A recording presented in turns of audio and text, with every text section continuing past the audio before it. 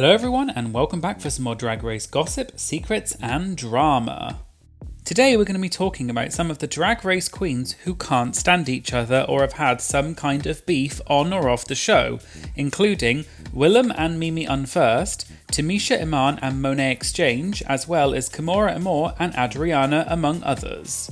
All that and more coming up in today's video, so let's get started. Willam and Mimi Imfurst.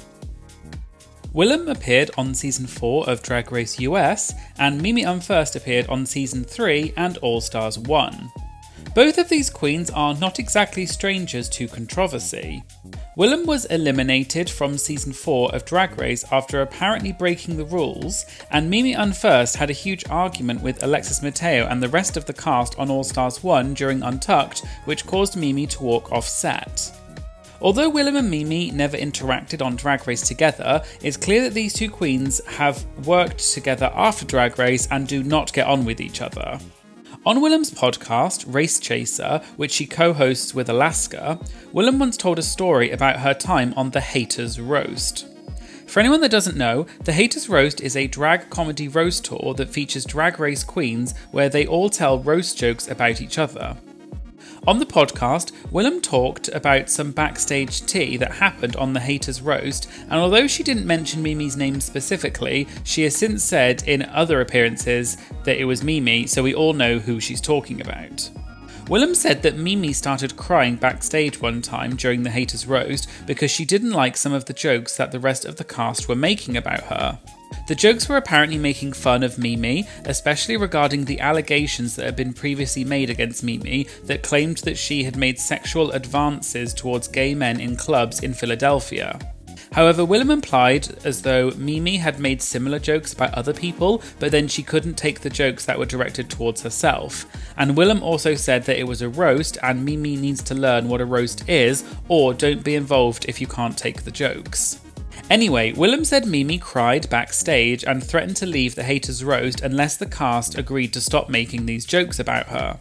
But Willam said she knew Mimi wasn't actually going to leave because she hadn't taken her makeup off.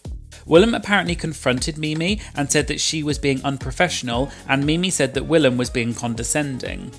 Willam then said, quote, That's not condescending, you're probably just actually sensing that I don't like you. And in a different video, which was from a live Q&A session, Willam talked about this more and said that she respected Mimi as a writer and she had paid Mimi to write a few jokes for her. But Willam added that she didn't like working with Mimi and said that no one should have to work with her. Willam also said that Mimi was rude during the haters roast and would just sit there during other people's sets and not laugh and then make notes about why other people's jokes were bad. Willam also said that Mimi was unprofessional during the roast and she did things like spray Thorgy Thor with air freshener on stage without asking her first. But nothing else has really happened between these two queens since then, but given what happened before, it's assumed that these two queens still have beef with each other. I'd just like to take a moment to say thank you to today's video sponsor, Atlas VPN. For any of you who don't know what a VPN is, a VPN is a way for you to encrypt your IP address and make it seem like you are located in a different country than you actually are. This is especially useful if you want to watch content that is only available in certain countries. So, for example, if you're based in the US and you try and search for RuPaul's Drag Race on Netflix, you'll see that nothing comes up. However, using Atlas VPN, you can switch your location to the UK, and just like magic, seasons 1 to 13 of Drag Race are available for you to watch on Netflix. Atlas VPN is the best VPN deal on the market, and they have the cheapest rates I found on the internet, which is why I wanted to share this deal with my lovely subscribers. Right now, Atlas VPN is running a huge discount, which means you can get a three year subscription for just $1.83 a month, plus three months for free with a 30 day money back guarantee. Time is running out, so get your deal by clicking the link in the video description below. Atlas VPN also protects you online by keeping your Google searches private, and it also stops ads and malware, and you can even save money when shopping online. And the best part is you can use Atlas VPN on multiple devices, and a single subscription covers all of your devices. So make sure you take advantage of this amazing limited time deal that Atlas VPN is running, where you can get a three year subscription for just $1.83 a month, plus three months for free with a 30 day money back guarantee. Click the link in the description to get your deal today. And now let's get back to some more juicy drag race gossip. Eureka and the Vixen. Eureka appeared on season 9 and season 10 of Drag Race US, and the Vixen also appeared on season 10. On the show, Eureka and the Vixen had several fights, both on Untucked and on the main stage. And it appears as though the two of them still do not get on even after the show finished. In an interview with Hey Qween, the Vixen was asked about her opinion of Eureka, and the Vixen said, quote, I don't know what her problem is, but I don't know how to fix it, so just leave me alone. The Vixen said that she blocked Eureka on social media and then added that her and Eureka just don't get on and that they are best when they are kept apart. The Vixen also made comments implying Eureka was racist. As background, in case you didn't know, Eureka previously apologised in 2018 after a video surfaced of her using the N word multiple times. And then another time on an Instagram Live, Eureka said that she couldn't be racist because she wished that she was black. And these comments didn't really go down very well. Anyway, in the interview with Hey Qween, the Vixen said that Eureka really wants to be part of Black Girl Magic, which is a drag show that the Vixen created and features all black performers. And later in the interview, the Vixen said that Eureka always calls herself the Elephant Queen, and then she added, quote, elephants are from Africa. And in a video which appeared on YouTube, the Vixen talked further about her time on the show, including her relationship with Eureka. She said that Eureka had used microaggressions against her and, quote, coded language and kept poking her with comments until the Vixen snapped. Eureka also appeared on Hey Qween several months after the Vixen did and was asked about her relationship with the Vixen. Eureka said that the last time she had spoken to the Vixen was backstage at the Work the World tour and they said hello to each other, but that's it. Eureka described their relationship and said that they are, quote, two damaged people fighting over who is the most damaged, and that they are cordial with each other, but they don't have a relationship other than that. Tamisha Iman and Monet X Change. Please make sure you hit subscribe and ring the bell to be notified for my future videos. Tamisha Iman competed on season 13 of Drag Race US, and Monet X Change competed on season 10 as well as All Stars 4 and All Stars 7. The beef between these two queens is slightly complicated, so buckle up, but I'll try and explain it in the most succinct way possible. So, the drama between Tamisha and Monet all started because of Monet's podcast Sibling Rivalry, which she co hosts with Bob the Drag Queen. On the podcast, Bob and Monet were doing a review of every episode of Drag Race Season 13, including giving their opinions on each contestant's outfits. At the beginning of the season, Bob praised Tamisha a few times, whereas Monet never really mentioned Tamisha. So, every time that Monet said anything critical about Tamisha and her outfits, Bob started joking and said that Monet hated Tamisha. And this joke kept going for the rest of the season. But then, in May of 2021, Tamisha posted a 16 minute video to her Instagram where she played part of the episode of Sibling Rivalry where Bob and Monet were joking about Tamisha. In the video, Tamisha says that she is unhappy that Monet has, quote, read me at every chance and that Monet needs to respect your elders. Tamisha then said that she had blocked Monet on Instagram and announced that she would be posting a video criticising all of Monet's past outfits as well as Monet's comments, etc. Tamisha added, quote, I have sat back and I have let a lady whose best look on Drag Race was made with sponges read me, the icon. I am not as petty as people think, but now the season is over, I'm about to show y'all how to reign supreme by giving zero Fs about what people may think about you. Monet seemed to respond to this in a jokey way by tweeting, quote, I knew I should have gotten a receipt for those effing shoes, which seems to be a reference to the high tops that Tamisha was selling. Monet also posted an Instagram story where she quoted Tamisha's line from the Phenomenon music video, where Tamisha said, Tamisha Iman is coming for you, but instead Monet said, Tamisha Iman is coming for me. Shortly after that, the official YouTube channel for Sibling Rivalry posted a 52 minute long video which was a montage of every time Bob and Monet had discussed Tamisha.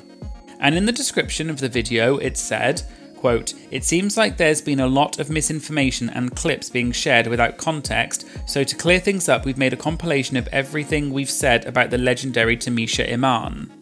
After that, Tamisha went live on YouTube where she had promised to read all of Monet's past looks. However, in the video, which was since deleted, Tamisha appeared out of drag and didn't read Monet's looks, but instead she said that she had been banned from several platforms and was unable to express herself freely.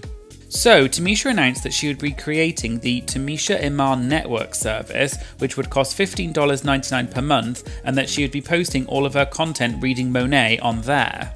Tamisha also said that she'd be doing a roundtable discussion with Bob and Monet, as well as other drag race contestants. Monet didn't really respond to any of this drama, however, Bob did, and she posted a video to YouTube called Bob the Drag Queen is Coming for Monet, where she read Monet's looks with the help of Eureka and Shangela. But in the video, Bob made it clear that this was all just for fun and that people should not be sending hate to Tamisha, and Bob even said that people should be supporting Tamisha. And then Candy Muse, who was also on season 13 and famously had a big fight with Tamisha and Untucked, went on Instagram Live to discuss Tamisha and Bob joined the live.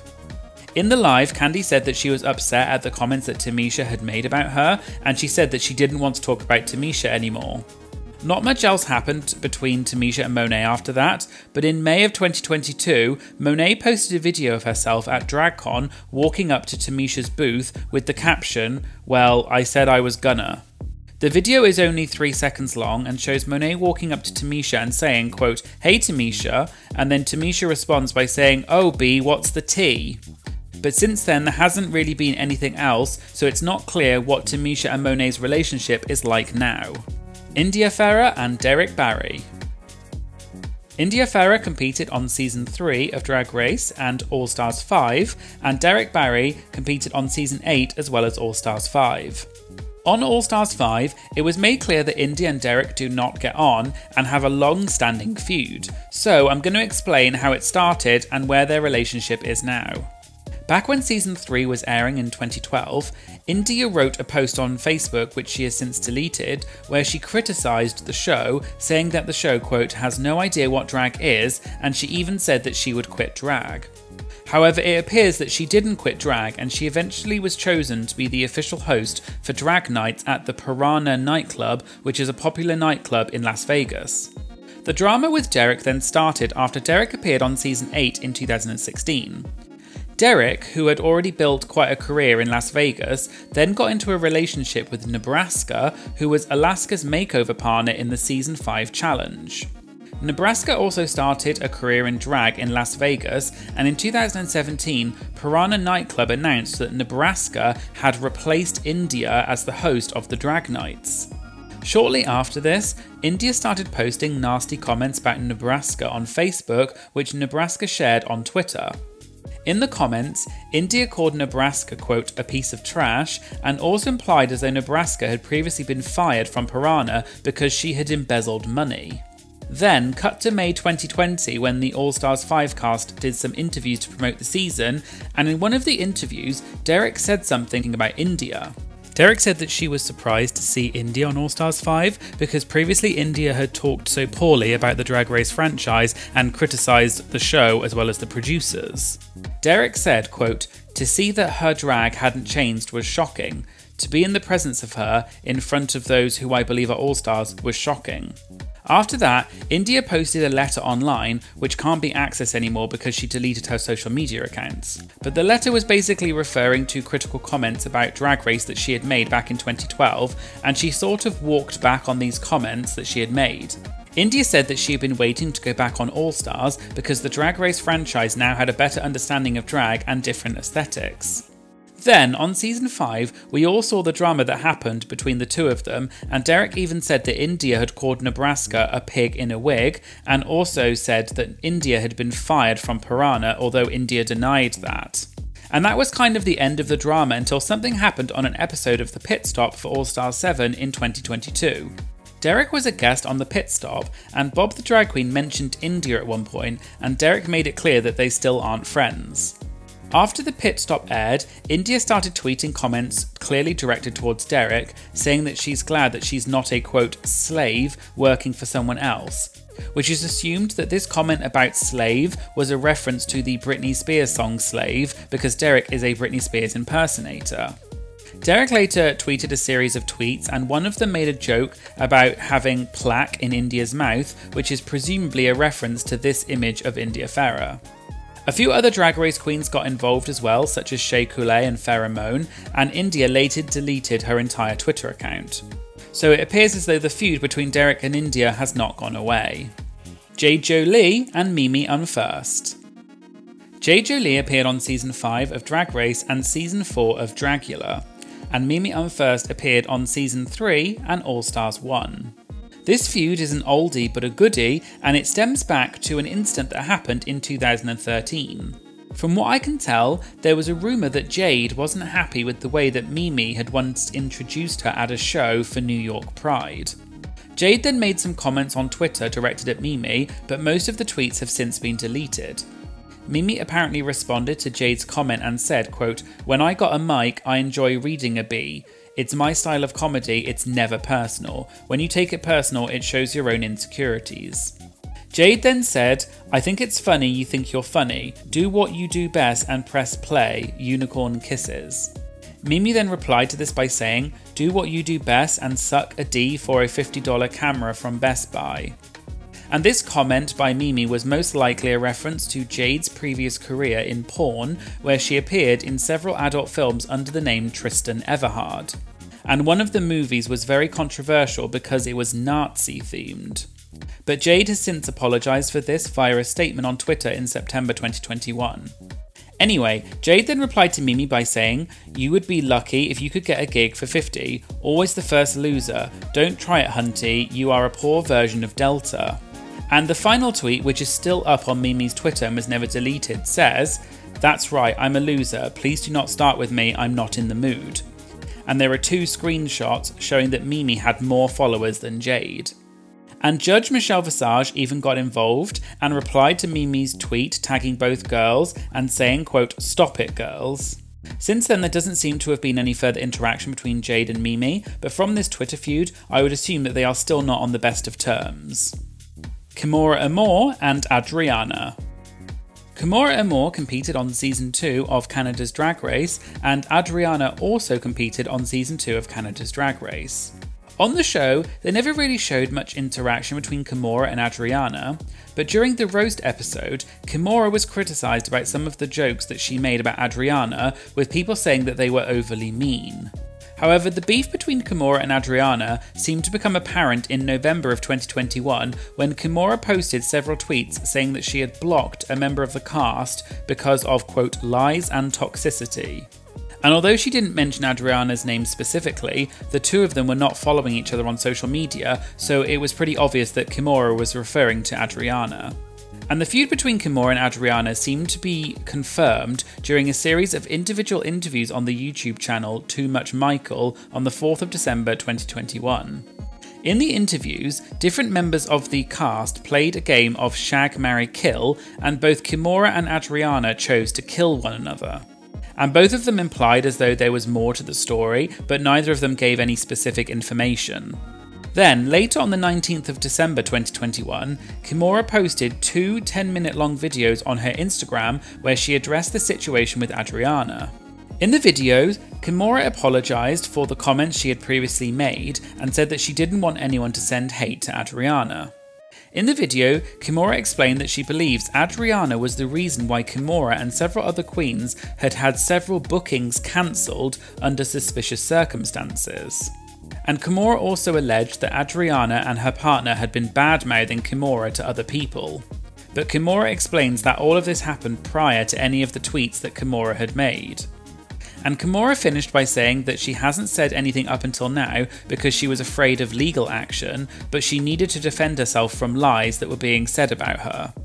Kimora also implied as though there was a racist narrative being used against her, and that non black people didn't like it when black people stand up for themselves. Later in May of 2022, Kimora appeared on the podcast Semi Qualified Queens, which is hosted by Canada's Drag Race alums Synthia Kiss and Juice Boxx. On the podcast, Kimora was asked about Adriana, and she referred to her as Lord Voldemort, i.e., she doesn't want to talk about her, she who shall not be named. Kimora also talked about the cancellations of her bookings and that she suspected that Adriana was somehow involved. Kimora also said that Adriana was trying to make her look like, quote, I'm a scary black person out to cut somebody. And not much else then happened until DragCon LA, which happened later in May of 2022. At DragCon, footage emerged of a live panel event where Kimora confronted Adriana on stage and the two of them had a big argument. I, I, I feel that you have had the platform. You, and I'm going to continue to have a platform because what you did was shady, underhanded, and I'm telling you, what you do behind people's backs will come to light. In the video, Adriana denied the accusations that Kimora had been making about her. And Kimora said, quote, When you go out there and you tell a black person, or you call a black person and you go to the people who are managing you and say that you don't feel comfortable around them, you feel threatened when you haven't said anything to them. I haven't spoken to her, I haven't said anything to her. And then someone in the audience accused Kimora of cyberbullying Adriana, which Kimora denied. Shortly after this, Adriana made a statement on her Instagram story where she said that her issues with Kimora were simply due to, quote, attitude and incompatibility. Adriana said that she was sorry that her request to not be together with Kimora was misconstrued, and she finished by saying, quote, I will, however, ask not to sit beside you because you're being a bee. This all seemed to stem from an accusation that Adriana had asked to not be seated next to Kimora at any events because she was afraid of her, and this was taken to be racially motivated and giving black queens a bad reputation. However, Adriana denied that this was the case, and she shared a screenshot of her request to a promoter where she asked to be kept away from Kimora, although Kimora's name was covered up, and the caption said, quote, I never said I felt threatened by her. Since then, there doesn't seem to have been any other major events between the queens, but they are still not following each other on social media, so it would appear as though they still do not get on. So there you go, there were 12 RuPaul's Drag Race queens who can't stand each other. Did you know about any of these feuds before? And which ones were a surprise to you? Let me know in the comments. As usual, please make sure you subscribe to my channel if you liked this video, and if you could please like, comment or share this video, it would really help to boost the algorithm and promote my video to more people. It's a quick and easy way to show support for my channel and I'd really appreciate it.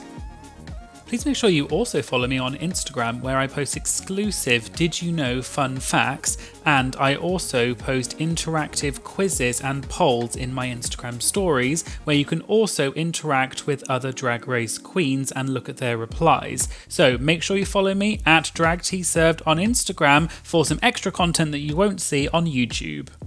Thanks for watching and I hope you'll join me again in future videos. Thank you, bye!